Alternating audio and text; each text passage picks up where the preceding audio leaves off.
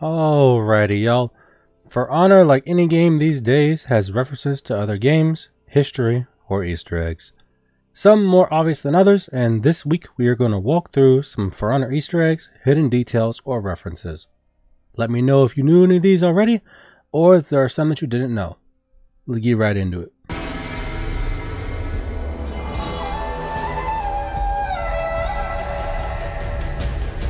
Let's start out with a simple one that seems to be in nearly every game now, and that is a Dark Souls reference.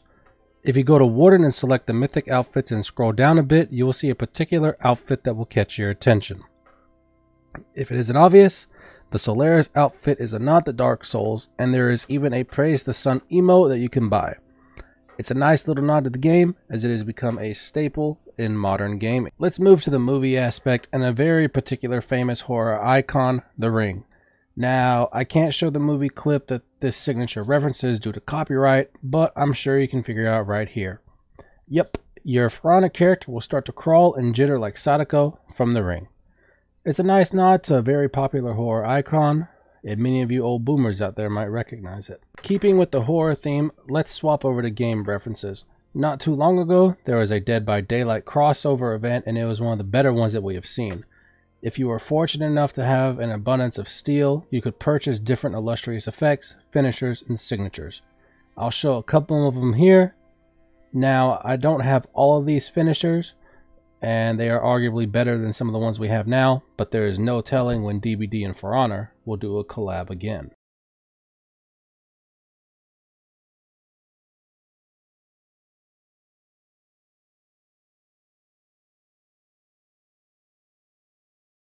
Ubisoft loves to reference their own games, and it is no surprise that this is the case in For Honor.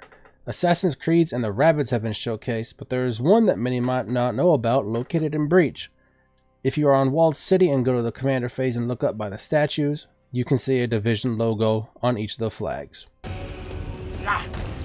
Soldiers, charge!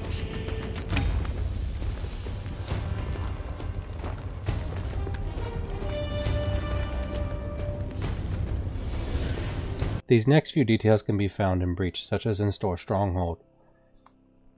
If you go to point 8 in the final Commander phase and look up, you can see the Jormungandr symbol. This is where the Jormungandr worship their god. And also in Storr Stronghold, if you go to the Guardian, you will find the most unique Guardian room, as the Guardian is standing on top of a map of the For Honor world.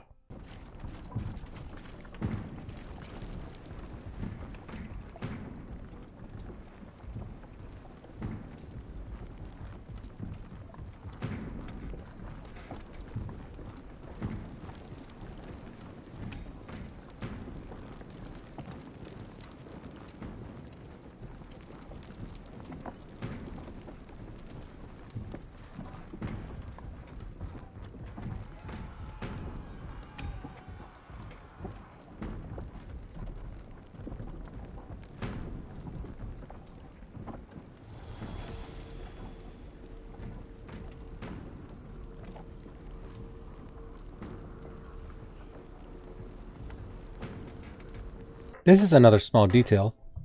In Breach, when you look at the points, the decorations will change colors based on which team controls them.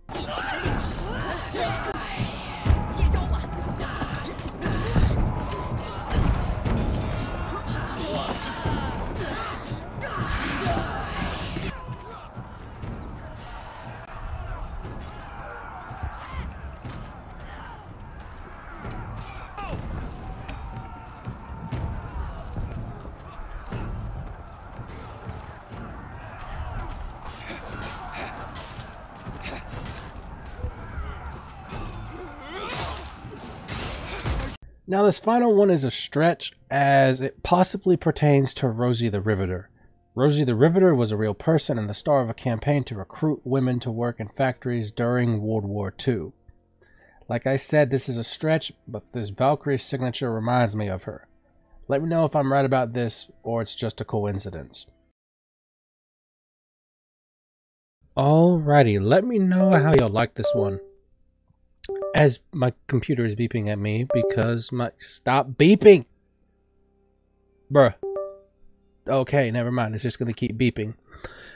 Anyways.